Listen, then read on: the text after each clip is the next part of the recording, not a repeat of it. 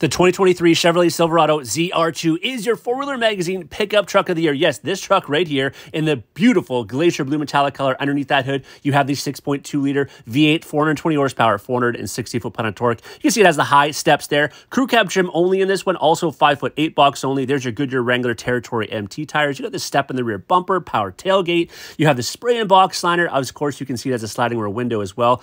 Beautiful interior in this with a kind of a two-tone gray with that yellow stitching. I love love it. Lots of room here in the back seat. You do have a two-inch factory lift, by the way, and the Multimatic DSSV high-end suspension, locking and lock, locking and unlocking front and rear differentials. Again, there's that yellow stitching. Bose stereo system. You do have a programmable 12-inch screen from the driver, 13.4-inch color touchscreen there. Not to mention the big center console. You have the sunroof up there, heated and ventilated seats, heated steering wheel. What a luxurious off-road truck this is. No wonder it is Four Wheeler Magazine's pickup truck of the year, the ZR2.